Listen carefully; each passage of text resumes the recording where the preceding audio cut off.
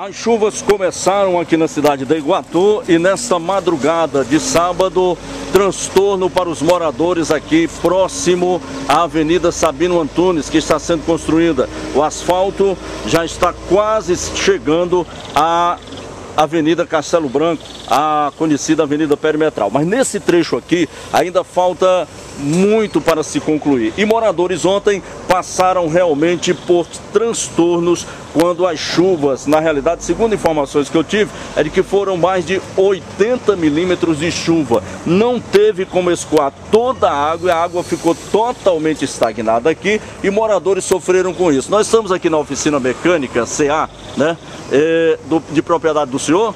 Como é o nome do senhor? Cláudio. Cláudio. Cláudio de quê? Lopes. Cláudio Lopes. Seu Cláudio, o que foi que aconteceu aí? Aconteceu que inundou tudo aqui. Inundou a oficina, inundou as casas. Na madrugada foi obrigado o pessoal a abrir a linha para poder escoar, escoar a água. E foi um sufoco, entendeu? Então é prejuízo os moradores e prejuízo na oficina também. Os moradores estão sofrendo com isso, olha.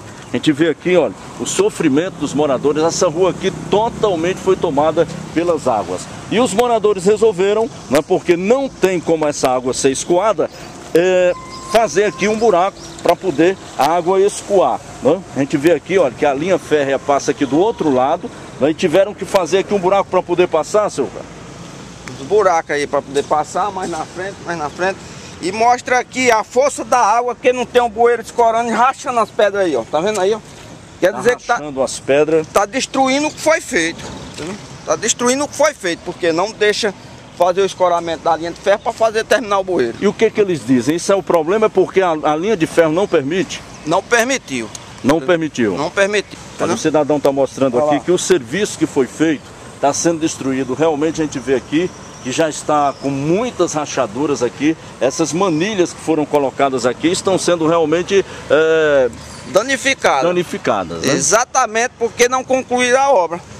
E ontem vocês passaram a madrugada, aliás, a madrugada de hoje foi abrindo buraco aqui para ver buraco, se a água não entrava, não invadia residências. Não invadia a residência. Invadiu, entrou tudo, o pessoal tudo tirando água de dentro de casa, tudo. Olha, a gente vê aqui, obrigado aí pelo senhor ter conversado com a gente.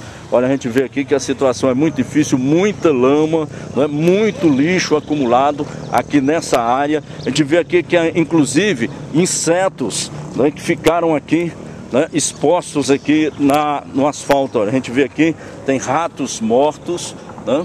a gente vê vários ratos mortos aqui, olha, pode prejudicar a população. E a população foi a mais prejudicada aqui na construção dessa avenida Sabino Antônio.